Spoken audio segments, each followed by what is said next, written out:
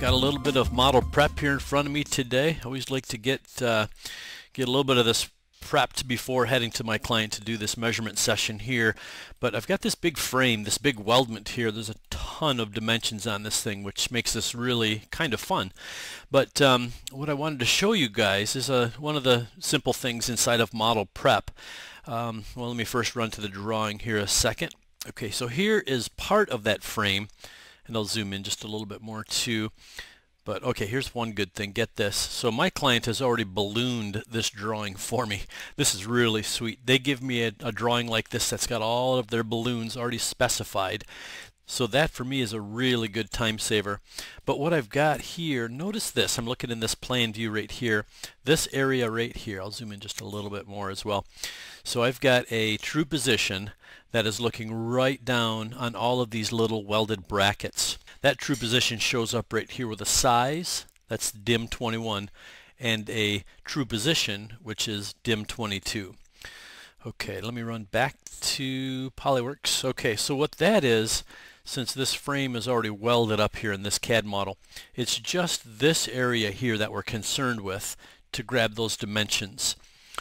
All right, and you can see right here, I'll zoom in on that. This series of these through holes is what is that dimension that is true position. And it's not looking for that true position on each of these weldments. It is looking at that as a as a whole as a whole as a as a W H O L E okay? So true position is through this whole cylindrical feature not just through each of the individual holes. What I'm going to do then is I'm going to form a cylinder that is going to be made up of all of those features okay? Now back to the drawing here again.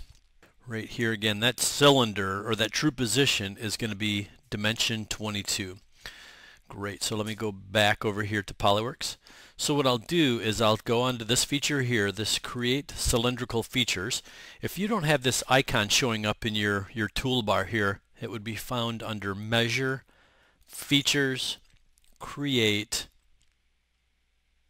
I'm going down right there cylinders. So I'll click on that. These are all left mouse button what I typically like to do then is I'll give that feature a name. I'm going to call that my DIM22 cylinder. Okay, now get this. My method is going to be picked from CAD, but here's what I wanted to show today is this sub-method of clicking on multiple surfaces. So I'll hit the, the pick icon here, left mouse key, now look at this. My cursor turns to that finger pointer and what it's looking for now is any feature that is a cylinder that it can find in the CAD model here and it's highlighting them. Okay, so look at that. It's highlighting that little feature there and since all of these holes are kind of cut at that same size, I'm going to start picking on all of them. So let me go here with this first one, left mouse click. Then I can come down to this guy here, left mouse click. Gonna grab him, left mouse click there, and then this feature here, left mouse click on him. So I've clicked all the way through that feature, or that series of features to develop this full cylinder. And then right mouse key saves it. Okay, good. So let me close out of that a second. So there we have it. Now that cylinder is made up of multiple cylinders to, uh, to determine that entire feature.